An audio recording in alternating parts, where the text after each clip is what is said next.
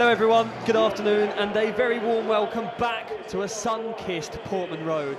It's too close to Aynsley Pears, in comes the corner towards Burgess.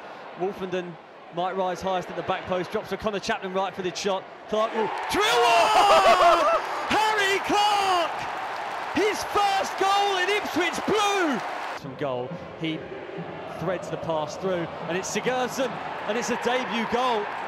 Inside, drills one forward, looking long for George Hirst. Pears has come a, a, long way from goal, and it's with Nathan Broadhead 25 yards out. Broadhead thinks about the shot! oh, and he scores! Goal came as a result of Aynsley Pears getting caught out, coming out of his goal. Burgess has threaded one through here to Hirst, and Hirst is on onside!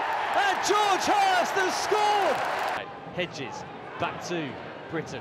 He delivers in towards Harry Leonard, and it is Leonard, and it's 3 2 again as Dilan Markanday breaks away down the right hand side for Blackburn. And there's a bit of an overload here and Szmodics will take it upon himself to go for goal and find the equaliser. Hutchinson into the penalty area. He's been brilliant since coming on Omari Hutchinson.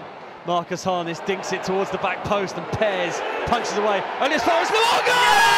Oh! Massimo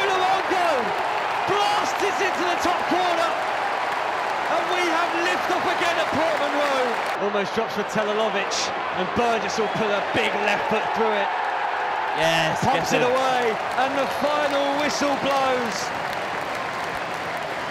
It's goals, goals, goals at Portman Road at the moment. Full time here at Portman Road. It's Ipswich 4, Blackburn Rovers 3.